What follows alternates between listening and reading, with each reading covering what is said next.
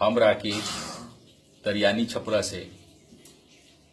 पिछला संतावन महीना से भारत में साइकिल यात्रा पर हती, जेकर नाम है राइट फॉर जेंडर फ्रीडम अब तक देश भर में 19 राज्य में घूम के सत्ताईस हज़ार किलोमीटर साइकिल हकली है, आ लगभग 10 लाख लोग से हमार बात भेल है। बात कथी भेल है कि भारत चाँद पर पहुँच गेल, भारत मंगल पर पहुँच गेल, भारत के लोग एवरेस्ट पर जाइए चढ़ैया उतरैया इतना लम्हर लम्हर पुल बन गया हवाई जहाज़ से पूरा ट्रैफ़िक भरल है। लेकिन, आज भी हम कहे ले बेटी बचावे के लिए। आखिर, बेटी के परेशानी कहाँ से है? बेटी के खतरा कहाँ से है? कौन है?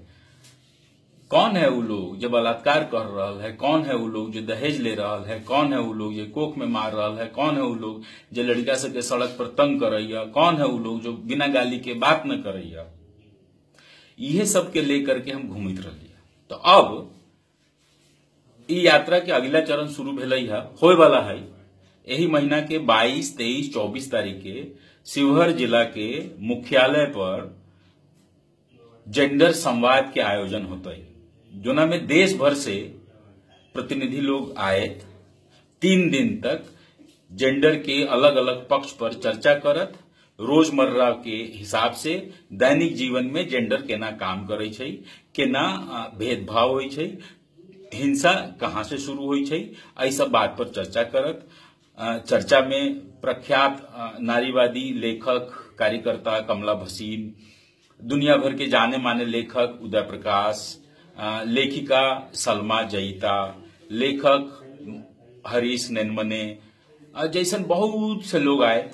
तो कहे का मतलब कोशिश ये है कि हर तरह से ये पर, प्रयास कि कम से कम हमरा समझ में आवे कि हमरा से दिक्कत कहाँ हो रहा है। कोना बात के लेल इतना निम्न संविधान इतना धर्म इतना धार्मिकता के बावजूद आज इतना जहालत के स्थिति है। तो ज़रूर आए, अहूँ सब आए, यहाँ सबके न्योता के लेल हम ई- ई- ई- हम अली है। अहाँ सब आए, तीन दिन तक चर्चा के हिस्सा बनू। जे लोग सब बाहर से अबै से मिलू बतियाऊ। अहाँ सब आए, अहूँ सबके बात विचार कहे के मौका मिलत, बतियाए के मौका मिलत। आए, तब न कोई एक रास्ता निकलते कि घर बैठले से कुछ छै आय तो आयब ज़रूर। आयब ना 22, 23, 24 दिसंबर के शिवहर में कलेक्ट्रेट के पास। शिवहर जहाँ से सबसे नजदीकी स्टेशन है मुजफ्फरपुर जेकर दूरी है पैंसठ किलोमीटर। हवाई अड्डा है पटना में लोकनायक जयप्रकाश एयरपोर्ट जेकर दूरी है 130 किलोमीटर। तो हे अहाँ सब आयब मिस न करब आयब तभिए निमन बातचीत होता है ठीक ना? तो मिले प्रणाम।